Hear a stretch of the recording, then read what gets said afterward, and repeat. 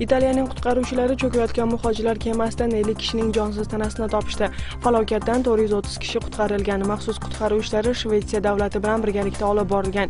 Shuningdek liviya qirg'og'idan ellik kilometr olisda muhojirlar ketayotgan o'nga yaqin kemalar topilgan. O'tgan haftada yevropaga ketayotgan mingga yaqin muhojir suvdan qutqarilgan edi. Yil boshidan beri o'rta yer dengizida bir ming sakkiz yuz muhojir suvga cho'kib vafot etgan.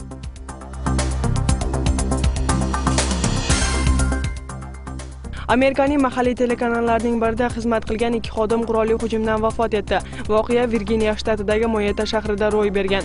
Savdo markazida jonli efir olib borayotgan jurnalist qiz va operatorga noma'lum shaxs qurol bilan hujum qilib voqea bo'lgan yerdan qochib ketgan. Politsiyadan qochib ketayotgan jinoyatchi avtohalokatga uchrab o'sha joyda jon bergan. Telekanal xodimlari ham voqea bo'lgan yerda ko'z yumgan.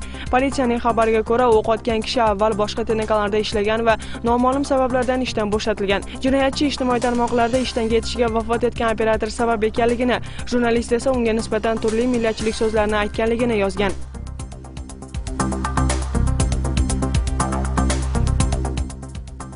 Turkiyaning qutqaruvchilari qirg'oqdan bir necha kilometr uzoqlikda yolg'iz suzib borayotgan o'n oylik chaqaloqni qutqarishdi. Qizning ota onasi uning oqib ketganini payqamay qolishgan. Chaqaloq havo matrasida bo'lib voqeadan bir necha soat o'tgandan so'ng qutqaruvchilar qizni ota onasiga qaytarib berishgan.